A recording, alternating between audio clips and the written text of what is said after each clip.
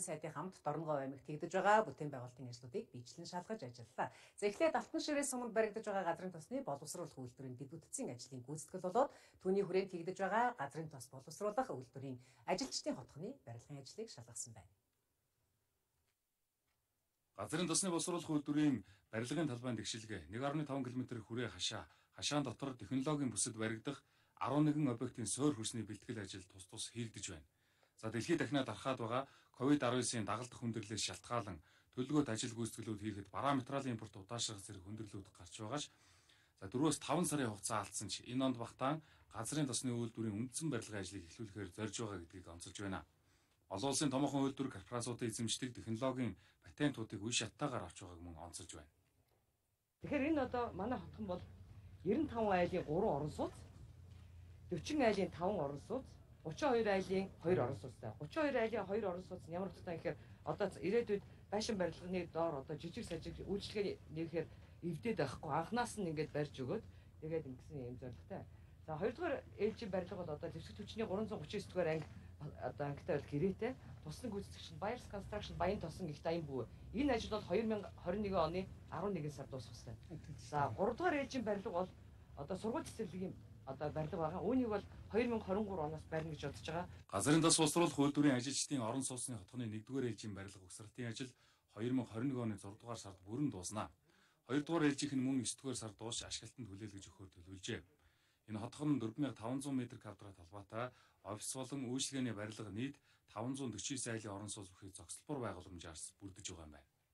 Тэгэхээр манай үйлдвэрийн 12 технологийн байгууламжийн 7 патенттай А өнгөрсөн 7 хоногийн 3 дахь өдөр бид нар хамгийн ихний лиценз технологийн тендерээ хүлээж авлаа. Энэ бол Францын Shell гэж компани оролцож хөхөр ялгах байгууламжийн одоо тендер ирүүлсэн байгаа.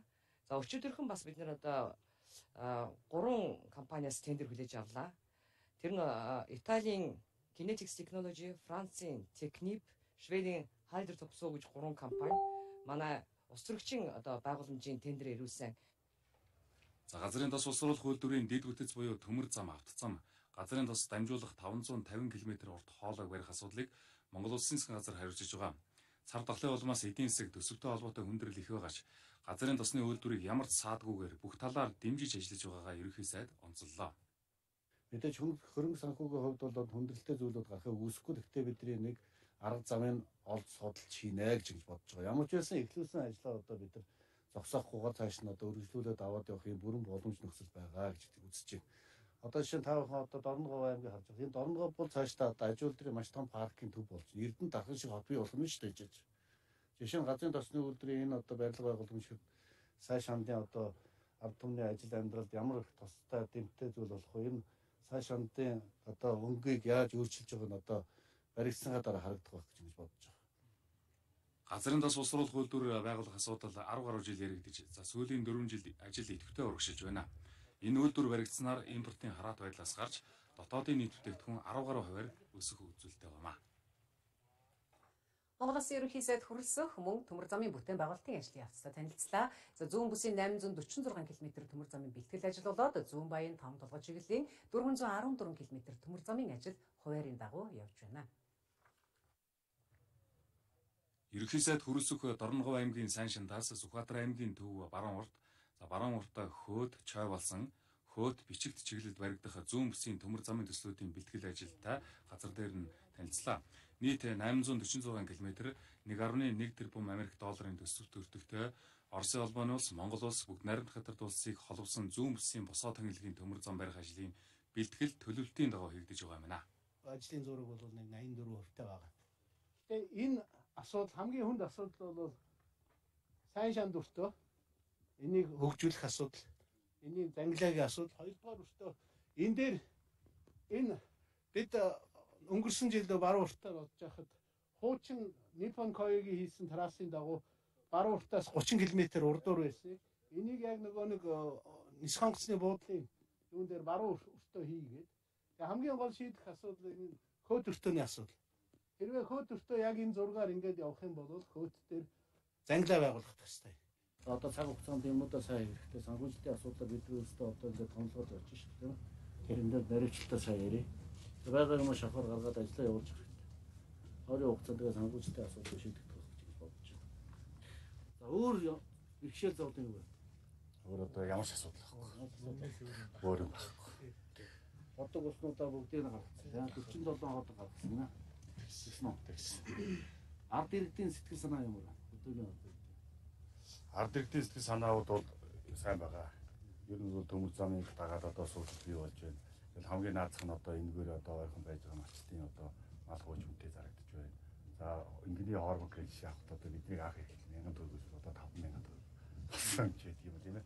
Энэ бол үзүүл хөнөдөө бол ингээд хам жижигээс ахуулаад явж Ага зах зээл. Тэгээ зах зээл бий болж. Одоо тэр гаргасан 47 хотыг дагаад шинэ малчд ирж одоо бэлчээрлж байна уу? Шинэ бэлчээр бий болж байна уу? Тэгээ ер нь бол гаргасан удгууд дээр малчд гуугаад жижиг йонкс тавиад өөрсдөө малыг услах ийм ажил бол байга явагдаж байна.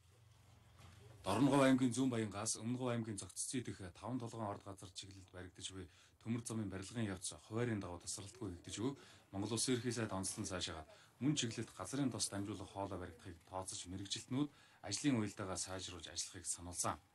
Энэ төмөр зам баригдвал Монгол Улсын нийгмийн эдийн засгийн хөгжилд оруулах хувь нэмэр өгөөж өндөр байх болно гэдгийг салбарынхан онцолж байна. А таван толгойн ордын одоо когч нүүрс болон тарасын дагуу байгалийн баялагийг одоо байгаа дотоодын төмөр замын сүлжээгээр дамжуулан Орос хятадын төмөр замын сүлжээгээр тээвэрлэх цаашлууд одоо Алс дорнтын бомб, далайн бомбууд хүргэж одоо хүргэх одоо боломжийг бүрднэ гэж үзэж байгаа энэ таван толгойн зам ингээд. За хоёрдугаарт нь толгойн ордын когч нүүрсийг Хятад Солонгос Японы зах зээлд хүргэх нэг зах зээлээс хамаарсан хамаарлыг бууруулах таван толгойн нүүрсний өрсөлдөх чадварыг нэмэгдүүлэх зорилготой.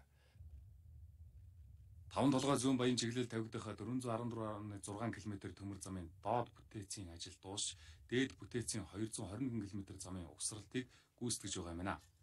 Улсын 1-р зэрэглэлийн төмөр замын энэхүү анхны бүтээн байгуулалт нь жилд 30 сая тонн ачаа тээвэрлэж галт тэрэг 100 км-с доошгүй хурдтай явна. За үндэсний компаниудаа тулгуурласан бүтээн байгуулалт чанарын өндөр түвшинд явж байгааг ерхий сайд онцоллоо. Төмөр замын ажилтай холбоотой дараагийн сурвалжлагыг үзэж та бүхэн хүргэе. Төмөр замын ажилд